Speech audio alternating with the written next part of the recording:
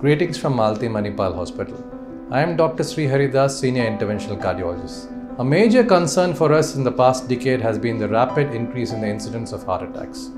What are the major risk factors for heart attacks? The risk factors for heart attack are diabetes, hypertension, tobacco usage, obesity, lack of exercise, unhealthy eating habits, high cholesterol, strong family history of heart disease, and the new risk factor which I am very concerned about is work stress.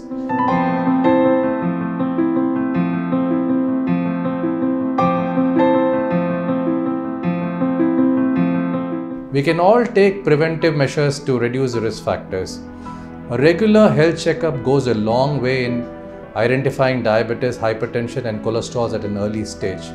If you're a diabetic or a hypertensive, it is important that you control it well and prevent the complications. Quitting smoking is very important. Eating healthy, avoiding junk food, having a liberal intake of fruits and vegetables, exercising for 20 to 25 minutes a day, either in the form of running, cycling, jogging, swimming, or any other sport. Work stress can be substantially reduced by yoga, meditation, and relaxation techniques. It gives me great pleasure in informing all of you that very shortly, Malathi Manipal Hospital will be equipped with a state-of-the-art Philips cath lab, which will help us in diagnosing and treating heart patients. Let's all lead a healthy life and be heart healthy. Thank you.